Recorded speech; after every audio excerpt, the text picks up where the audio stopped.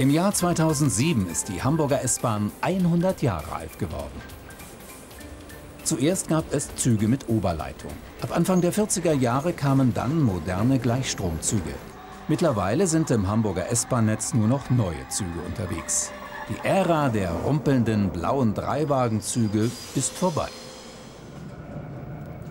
Wir waren 1997 im Hamburger S-Bahn-Netz unterwegs, als noch alle Fahrzeuggenerationen fuhren.